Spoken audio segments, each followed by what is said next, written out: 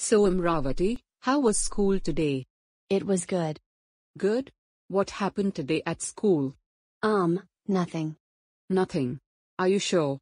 Yes. Who the fuck did you bully at school today? Um, I think it was two little kids who go by the name of Billy and Mandy who don't go to my school, they only go to Endsville. Billy and Mandy? Huh? And why did you bully them? Because they said that they like the Grim Reaper, as well as My Little Pony and Winx Club. Well, I forgot to tell you that you are also a wallet thief, stating that you also stole somebody's wallet without asking. And you were also hanging out with the ladies and dudes that who were pasturing you, picking on you, bullying you, laughing at you, hurting your feelings, etc. Look at us while we are talking to you and quit with the crying attitude, right now. Guess who the freak did you bully at Endsville Elementary School? Amma and my clones think straight. They don't go to my school. They only go to their own goddamn school. Shut up, shut up.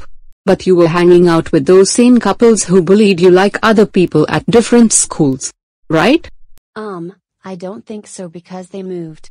We all swear to God, we are going to explain all of this to your attorney for what you have done to all of us and to all the good users like that.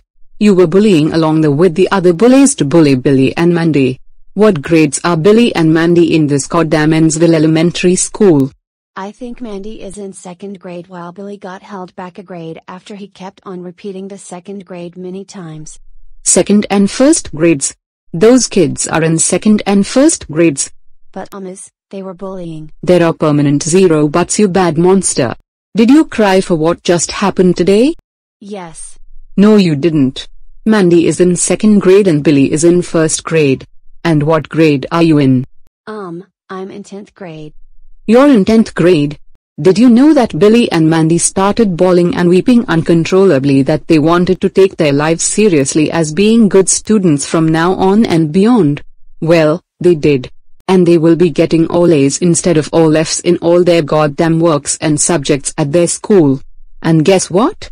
We're going to their school in Endsville and talk with their staff, teachers and Billy and Mandy's friends where a miserable Billy and Mandy are and you are going to write a 10 essay about what happened to them at their goddamn school.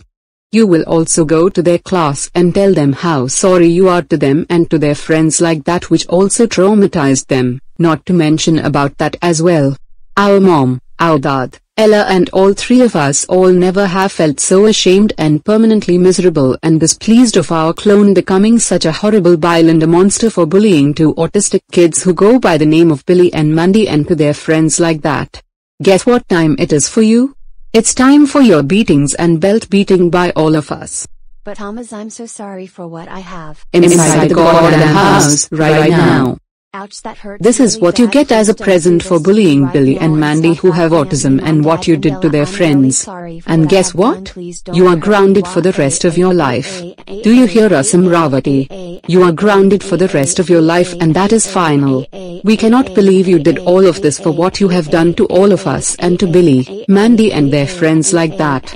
Go to bed right now and sleep forever.